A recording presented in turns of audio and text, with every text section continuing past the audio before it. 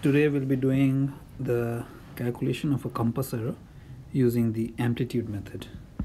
All right so to do that let's take an example.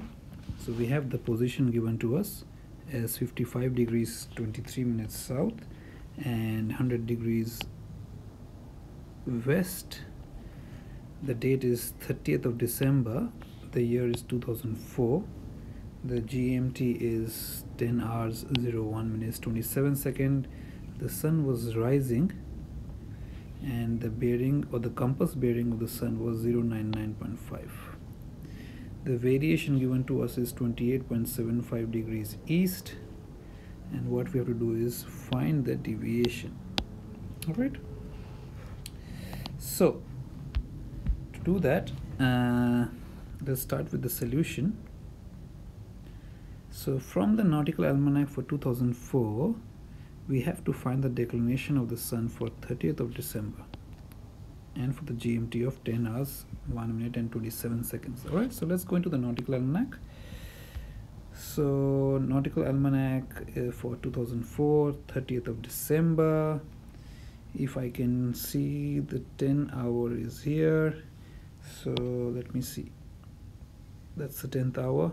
Yes for 30th of December 10th hour if I take this all the way here to the sun one you can see that uh, the declination uh, for the 10th hour is here. 23 degrees 7.9 south. And to the next hour it's slowly decreasing. So we will have to apply the d correction value. The d value is 0.2 even at the bottom of the page here you can see yes. So we take the 0.2 value and we'll be going into the increments table. So first let's write down the declination value 23 degrees 7.9 minutes south. And we have to remember that the declination was decreasing to the next hour and the d value is 0.2 then we go back. So we have 23 7.9 south. The declination was decreasing. So whatever will be the d value will be subtracting it because it was decreasing to the next hour. But we do have to find out the d value for 1 minute and 27 seconds.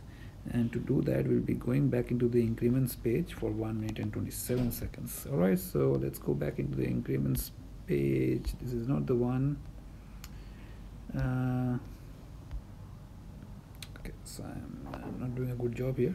So increments page is here 1 minutes and 27 seconds. So for 1 minute and 27 seconds uh, we must go to the front of the page so that will be it here. That's right. Now I'm doing a better job.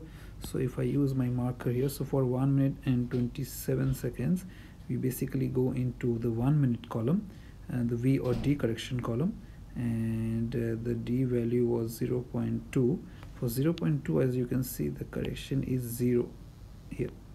It's 0 right? So that's what we'll be using. So it doesn't matter whether we subtract or add it's a zero correction. So we go back to the calculations. We write down zero here. And so the final declination value is still the same 23 degrees 7.9 minutes south. Right? From that it's pretty straightforward. We use the formula sine amplitude equals sine of declination divided by cos of latitude.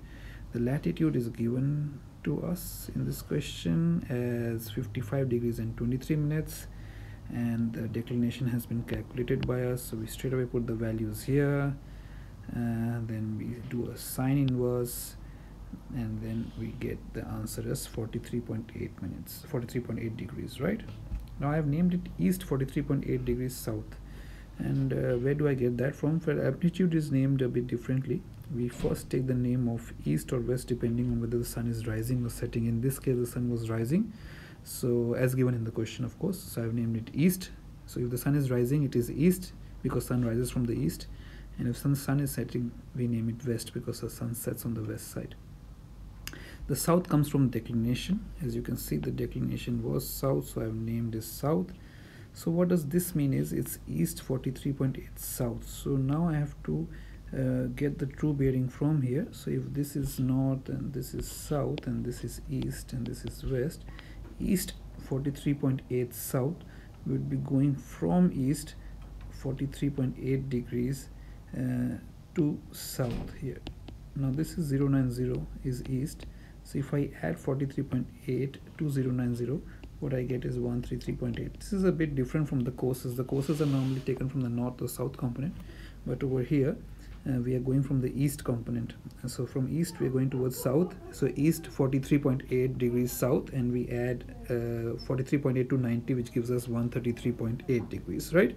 So that gives us a true bearing as 133.8 the compass bearing is given to us as 099.5 degrees. That's given to us in the question.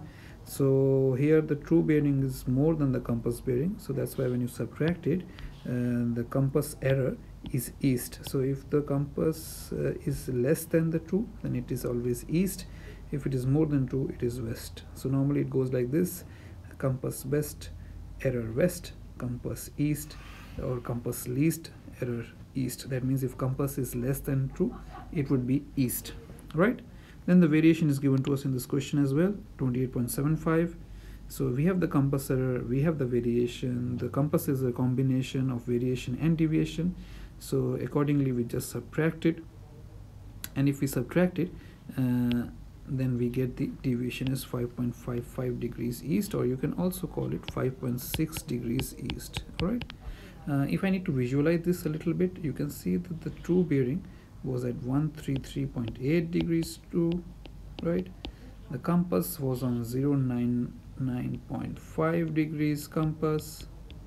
Somewhere here the C stands for compass so compass lied on the east side of the true so that's why your compass error was uh, east 34.3 variation is the angle between true and magnetic and again variation was east so that means the magnetic was also east of and this is the variation.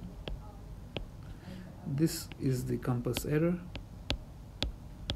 So naturally your deviation which is the angle between the magnetic and compass uh, where the compass is on the east side of the magnetic and this is the deviation is and you can see here the compass error is a combination of the variation and deviation uh, gives you this value here right? So go through this uh, video again and go through it multiple times. Uh, this is a short question easy to understand. Uh, make sure you pause wherever you're not very sure what I've done and then listen to it again. All right? Thanks guys